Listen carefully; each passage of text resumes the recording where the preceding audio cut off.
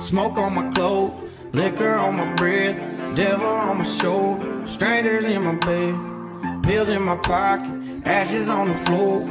These bad decisions keep on knocking on my door. I know you